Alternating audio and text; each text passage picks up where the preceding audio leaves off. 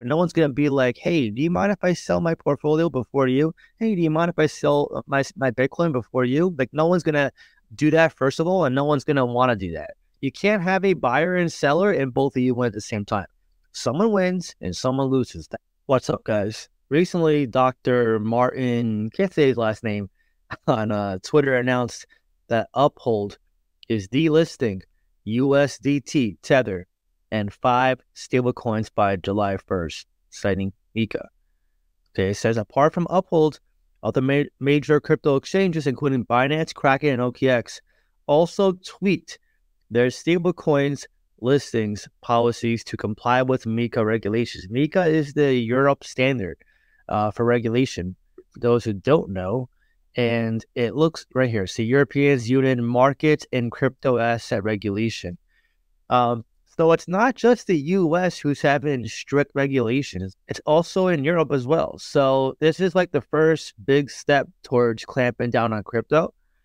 Um, obviously, Uphold is a regulated exchange, so they're going to comply, right? Uh, it's not as bad as it seems like yes, USDT is pretty bad because now a lot of people who are using Uphold that are not from the US or from other countries that can have a stablecoin that can support their their currency, they probably might move on to something else. I mean, obviously USDC is not going away, so it even says right here we'll continue supporting USDC. But there's other cryptocurrency stablecoins that people can use, investors can use uh, when the time comes to take profits. Because the majority of people will take profits uh, probably into a stable coin first before they put it into their bank because you know especially if you have a lot of money it's it's very hard or it's unlikely you're going to just take like a million dollars or something and put it into your bank in one shot you'll probably get rejected so with uh, minimizing volatility and doing small amounts over time it does make sense to have a stable coin so in this case USDT was very popular. USDC is what I'm going to be migrating towards. USDC.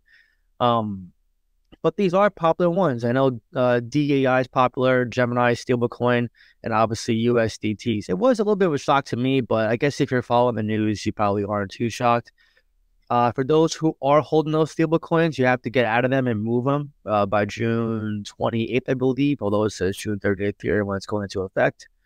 Um, just make sure you're taking advantage. Uh, this is why you don't want to be taking time off crypto because you know imagine if you just took the whole summer off and you're holding a lot of fiat and these stable coins on uphold for whatever reason and you come back in you know two weeks from now and you're like what the hell happened? This is why you can't take off crypto because it changes so much and as we see more regulation more adoption take place we're going to see more stuff like this take place so i'll just keep that in mind but um uphold is one of the better exchanges. This is where i buy my Kaspa primarily uh, I'm on Turbo, Myro. So I do buy uh, quite often on Upholds. I do use it a lot. I never had any issues with it. Um, their fees are a little bit higher. They have a limit too. You can only buy like uh, a certain amount. You can only sell a certain amount. So that is annoying um, in terms of regulating the investors. But other than that, it's a pretty good exchange. You got a wide variety of crypto. But uh, this is why you got to be careful with crypto. Uh, it says right here also SEC to drop investigation to Ethereum. I mean, come on, we all knew that was going to happen, right? Like, it was a nothing burger to begin with. Let's just click it and read it. Um, this is very bullish for Ethereum. That's why Ethereum was having a little bit of a rally today. Um, SEC to drop investigation. Uh, it's closing its investigation to Ethereum, though ConsenSys said a fight isn't over yet. So they're probably going to try to manipulate a little bit more. This is that's all it is, guys. This is all manipulation. They want to scare you. Ethereum is the biggest asset. If they can attack that and cause fear, all the tokens they're in will be also having that fear, and investors will just run for the hills and pull their money like freaking sheep and realize in due time it was the worst mistake of their life. Um, so closing its investigation to Ethereum 2.0, okay. This means that the SEC will not bring charges alleging that sales of Ethereum are security transactions which the firm hailed as a major win for Ethereum developers, technology providers, and in industry uh, participants. And then it says down here, um, ConsenSys said the SEC decision came after I sent a letter to the agency on June 7th. Like they announced a spot and then they're trying to say security. So again, this is why it's very contradicting of the SEC. And it's funny enough, they're supposed to protect retail investors, but obviously they're not. Um, so it's very ironic what's happening, but at the same time, it's not surprising, right? Because again, the whales, politicians, the influencers, the ones who people trust the most, they're manipulating you the most. They're trying to shake you out. They don't want you to become financially free. They want you to work your job for 60 years, for 40 years. They don't want you to make money in crypto. See, the faster you realize that, that you're on your own, it's a player versus player market, you'll understand this and you'll make better decisions going forward.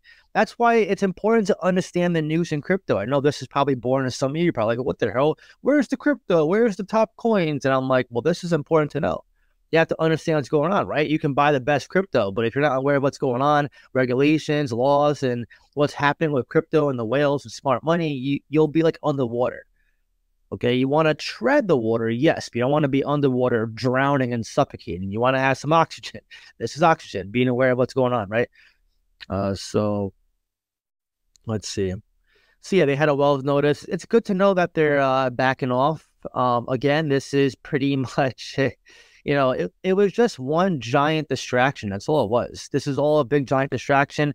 A lot of what's happening in crypto is a big distraction. You know, everything that's going on with the SEC, uh, people are trying to just shake you out. Again, this is literally like something. This is the final dump before the big pump, uh, whatever the case may be. This could last another week, two weeks, a whole summer. Who knows?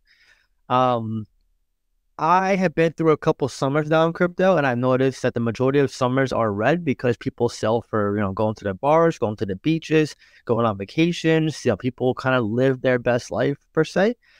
Uh, when you combat that with manipulation, that's where I expect more red, more discounts, more tags to be in crypto, which we've been seeing, right? Um, obviously, if your portfolio is not up to par to where you think it's good for the altcoin season, this is the time to make moves. Right? I said it in pr- pretty much every video I cover. Make a move. Stop talking. Start doing. Because if you don't make a move, guess who's going to make it? Your fellow player who's going to make it before you and dump on your head. Again, player versus player market. Fish eat, fish market. You know, like I know some of you like being part of communities. Know, my Discord's a great group if you're interested. But again, even in, in these groups, right? Yeah, we support each other, but no one's going to be like, hey, do you mind if I sell my portfolio before you? Hey, do you mind if I sell uh, my, my Bitcoin before you? Like, no one's going to do that, first of all, and no one's going to want to do that.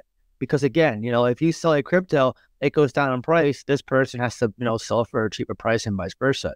You have to have a buyer and a seller. You can't have a buyer and seller and both of you win at the same time someone wins and someone loses. That's how crypto works, but also how stocks work. Okay. It works in every asset class. You got to have a buyer and seller. Someone has to buy your top and someone has to sell your bottom to get a good entry, right? So, um, obviously, being well rounded in the news, the picks, the regulations, the stable coins, it all ties in, right? And I, I explain this in my profit taking course, you know, especially in relation to Bitcoin, altcoin season, the timing, the stable coins getting out, knowing when to get out, the fear and greed index. I explain all this in my course. If you're interested, it's in the pinned comments down below and also description. Um, it's a very good course. A lot of members love it already. And um, again, you know, you got to prepare for these things, right? Because if you if you kind of have like a set closed mind to what's going on in the market and something like this happens with like an exchange delisting your coin delisting your stable coin or doing something along the way of where you have to change your investing strategy or pivot and do something else if you're not aware of, of what can happen you'll be shocked and you'll be having that home alone face we all hate right? So it's definitely important to be up to date with the news. That's why I never take a day off crypto. Sometimes I won't make a video, but I'm always researching and reading, always trying to be very well versed what's going on out there in the market and the news. But if you want to reach out to me, talk to me, follow my buy alerts, my sell alerts, become the next financially free investor, which we have over 40 already. And someone just announced on Twitter last night that I shared over 40 investors who have made six to seven figures already.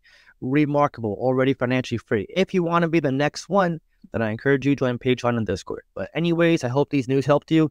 Um, I'm just curious what you guys think. How do you feel about these new uh, Europe uh, union regulations in, in relation to Uphold? And what do you think about the SEC backing off Ethereum? Drop your comment down below and let me know. If you enjoy this video, please give a like. Really helps so much. That being said, I hope you have a great day. I'll see you in the next one.